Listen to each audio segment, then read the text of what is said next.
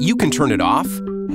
You can turn it down. You can seal it up. You can make it shine. You can automate or insulate. You can reduce, recycle, replace, or just reevaluate. You can clean it, close it, cool it, dry it, or dim it. But any way you spin it, it's about saving energy and saving money, and we can show you how at responsiblebynature.com.